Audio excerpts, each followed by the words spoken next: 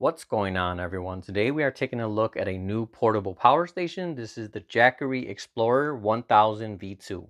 Taking a look at some of the specs, this has a 1070 watt hour LiFePO 4 battery, a 1500 watt power handling with a peak of 3000 watts, a 400 watt solar charging input, UPS function, and is very lightweight at only 23.8 pounds. So taking a look at the power station itself, this is definitely a nice looking power station. As you can see right away, you can tell it's a Jackery by all of its bright orange accents, which do carry across the power station. Construction wise, it does feel well made as the plastic feels nice and sturdy. And according to the specs, this is also shock and fire resistant. One thing I immediately noticed is the size of its power station because this is definitely very compact for a 1000 watt hour unit. I own quite a few power stations of this capacity or a similar size and this is definitely the smallest one I've seen so far. A lot of power stations have a handle but typically they stick out in some way whether that be the sides, the back, or the top. But as you can see this one folds in which in the end makes it a lot more compact. And the inside of this handle also has a nice rubber grip, which makes it very comfortable to carry as well. So taking a look at the ports, right over here, you have your DC car cigarette lighter port, and this can do 12 volts, 10 amps. Right below that, you have two USB-C ports. One does 30 watts, the other does 100 watt. And then you also have a USB-A port, which does a max of 18 watts. Coming over here, you have three AC output ports. And as I said earlier, this can put out a total of 1500 watts. And last but not least, right up here, you have a built-in LED light, which has low, high, and strobing modes. On the highest mode, it does get pretty bright, so this is going to be good to light up a small area. Maybe you're working on something. And then it's also bright enough to provide good light in a tent or room in your house as well. Coming to the side, you have a large orange vent, and it does have one of these on the other side as well. Over here, you have two DC inputs, and then you have your AC charging port. But as you can see, this one is built into the power station itself, so you can just use this cable and charge directly from that. Taking a look at the screen, this is a nice and clear screen with a lot of contrast. So right here in the middle, you got your battery percentage. Then you also have a orange graph that goes around it. Then you have your input voltage on this side, output voltage on this side. And then it'll also show you the calculations, whether that be how much power is left based on the load that's running or how much time it has left till it's fully charged. Coming right up here, you see a Bluetooth icon, and that's because this power station has app connectivity. And one thing I really like is it doesn't just have Bluetooth app connectivity, but you can also connect to it through Wi-Fi as well. So this means that regardless if you're down the block, at the store, or even across the world, as long as you have Wi-Fi access, you could check on and control your power station. Last but not least, inside this power station, you have a UL certified LiFePO 4 battery that's rated to maintain 70% capacity for 4,000 charges. So even if you use this every single day, you're still gonna get 10 years out of this power station. And then if you're someone like me that doesn't use the power station every single day, then you should get closer to 15 years out of this power station. All right, so let's go ahead and test out the inverter. As I said earlier, this has a power handling of 1500 watts and a peak of 3000 watts. When it comes to everyday technology, that's going to be a complete walk in the park for this power station as those really don't draw that much. But let's go ahead and hook up quite a few things here and see what we can get it up to. So first off, I have my 14-inch MacBook Pro. Plug that into the USB-C port. I think this only draws about 80 watts at the max. It has a good amount of battery right now, so I'm not sure how much it's going to draw. So it looks like it's only drawing about 50 watts. If it was low battery, it would draw about 80 at the most. I got a Bluetooth speaker. Again, likely not going to draw that much, but let's go ahead and add that in. I have a 2000 milliamp power bank. Let's go ahead and add that as well. Up to about 60 watts now. Over here, I have a Lenovo gaming laptop. This has an AC adapter think it has about 60% battery, so hopefully it draws on the upper side. So it looks like we're now drawing about 110 watts. If these were both low battery, this would probably get up to about 2, 250 at the most. So like I said, with regular technology, I'm sure you would max out every single port on this power station and you would still be well under about 500 watts. Most likely even less than that. So like I said, regular technology is definitely no problem for this power station. So whether that be your laptop, camera, drone, cell phone, whatever you might have, definitely to power it no problem at all. All right, let's go ahead and test this with something that takes a lot more power. Right here, I have a 1500 watt electric heater. The max on this is 1500 watts, so this should put it to that maximum limit. Let's see if it can hold on to that as advertised. So let's start it on low mode. So on low, the heater's pulling about 900 watts. Let's switch it up to medium. Now at about 13, 1400 watts, it's probably gonna settle back down a little. All right, so it's settled about 1200 watts. Let's put it up to number three. This is probably going to set it over 1500 watts, but let's see what the Jackery does. So on mode three, it looks like the heater is pulling a little over 1300 watts. So I went ahead and added a USB device and that should put us to that 1500 watt limit. As you can see, it's actually running 1600 watts right now and not shutting off.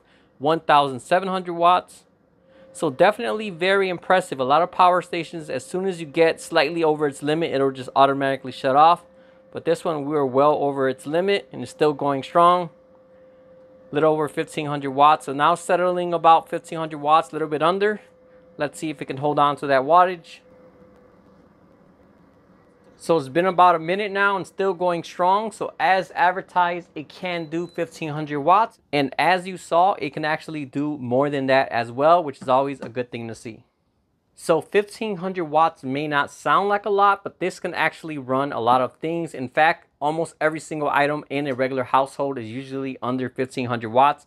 There's a few exceptions, but it's very, very slim as a regular household outlet can only run up to 1800 watts. So whether you have a electric cooktop, microwave, power tools, a heater, or pretty much anything else in your house, this should be able to run it. So all in all, this is going to be good for camping, home backup power, outdoor events, road trips, or pretty much any other situation where you might need portable power. And as I said earlier, for the capacity and power handling, this is definitely a very compact unit, which is going to make it a whole lot more easier to transport and store as well. When it comes to charging, this does have an emergency supercharging option, which can charge the power station from 0 to 100 in only one hour. I did test this out and it did run at that 1500 watts. And another thing I like on this power station is it's also very quiet as well. When you're charging at that 1500 watts, the fan does kick on, but overall it's very quiet, especially compared to a lot of power stations out there that are just much louder. All right, so along with the power station, I also have their Solar Saga 200 solar panel, and this is a bifacial panel, meaning it has solar panels on both sides of the panel. So this is going to be a lot more efficient compared to a single side panel. As you can see, this is a foldable panel. Most foldable solar panels have the little buckle here to get a clip on with a button. This is just so much easier as it has built-in magnets. So you just fold it up and it'll automatically grab and hold itself in place. So definitely a lot more convenient and easier to fold up and put away. To carry it, you have this handle up top, which makes it very easy to carry as this is pretty lightweight for a 200 watt panel at only 13.67 pounds. Another thing I like about this solar panel is the cable that it includes. So this side connects to the solar panel. This is the side that goes to your power station. As you can see, it does have an adapter to fit two different sizes. But right here in the middle, you have this little breakout box, and this has built-in USB ports. This has a USB-C and USB-A. So directly from the solar panel, you can charge your cell phone or other USB devices as well. All right, so this is what the panel looks like unfolded. As I said earlier, it has panels on the front, and then it also has more panels on the back. Right now, it's a very gloomy day, and as you can see, we have basically no sun at all. So if I were to connect this right now, I would probably get about 10, 15 watts, so it's not even worth displaying. But on a good sunny day, I was able to get about 182 watts from the solar panel, which is overall pretty efficient for a 200 watt panel. According to the specs, if you have one of these panels, you can charge the power station within 7.5 hours directly from the sun. And then if you have two of them, that'll make it much quicker at 3.8 hours. And as I said earlier, this is a pretty lightweight panel, so using two of these will still keep your setup pretty lightweight and portable. All right, so I drained this power station from 100% to zero with about a 1,100 watt load and it put out a total of 976 watt hours. Doing the math, that gives this unit a usable capacity of 91.2%. Most power stations of this size put out about 80 to 85% on average. So this is definitely one of the better power stations out there. So as I said earlier, this does have app connectivity, which is both Bluetooth and Wi-Fi. In most situations, it's going to be better and easier to connect through Wi-Fi. But if you're out somewhere it doesn't have Wi-Fi connection, that's where it's going to be better to use the Bluetooth instead. So taking a look at the app, up here you have your percentage. It also has that graph, same thing like the power station. You have your total input with the time remaining to charge, output, also time remaining to charge. You can also turn on and off the different functions on the power station. Your light control buttons, your screen control time, you can set it to stay on for two hours, turn off after two minutes, or turn it off immediately with that button. Coming up to settings, as I said earlier, you have your emergency charging button. It's not recommended to use this all the time as this is going to put more wear on the battery. But if you need to top off the battery very quickly, just go ahead and turn that on. Without this emergency charging, I got about 900 to 1000 watts of charging. And then when I turned that on, that's when it bumped it up to 1500 watts. And then you also have charging settings. And in here, you have fast charging mode and quiet charging mode. At quiet charging mode, it's going to charge slower, but at a much more quiet level. Most of the time, it's probably better to leave it on fast charging mode, but if you're close to the power station or maybe you're sleeping in the same room, that's where it's going to be better to use that quiet charging mode instead. You have battery settings, which is not something I've seen on any other power station. So first off, you have the option to fully use the power station. This is going to charge and drain it from 0 to 100. And then you have battery saving mode, which is to extend the battery life by not completely charging it and also not completely draining it.